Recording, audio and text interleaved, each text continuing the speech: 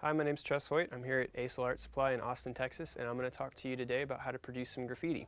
Now, I'm not trying to condone vandalism, telling you to go out and paint walls and things like that. I'm just trying to explain some of the artistic ways that graffiti has kind of moved into the art world. Uh, so some of you out there that are interested in it can kind of learn some of the basics. Some of the easiest ways to produce graffiti is using markers. Uh, nice little crank here. You can do hand styles and uh, little small bubble letterings or different designs, things like that. Uh, works in black books, uh, canvases, all kinds of those things.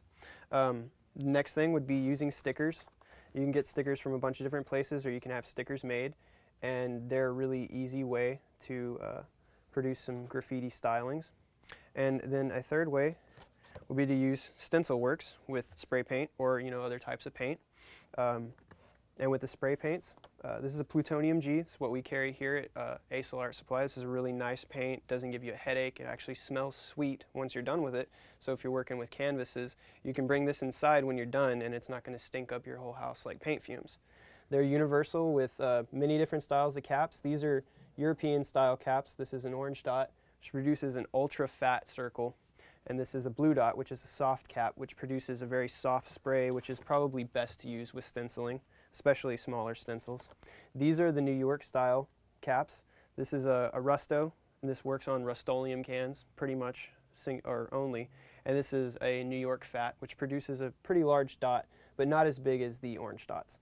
These are some skinny caps, and what that means is they produce a very fine line, about a finger width, two finger widths, just depending. Uh, this one's a universal.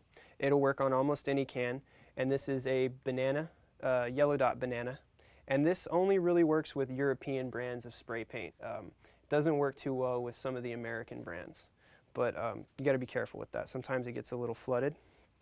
But uh, when you're producing some hand styles, um, you first just practice in your black book, and then you can scale up from just basic line letters into bubble forms.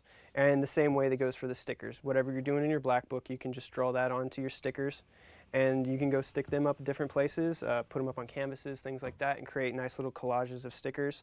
Uh, same with stencils, you can collage a bunch of stencils together and have them do all kinds of crazy stuff like that. But that's some of the production ways of how you can start learning how to do some graffiti.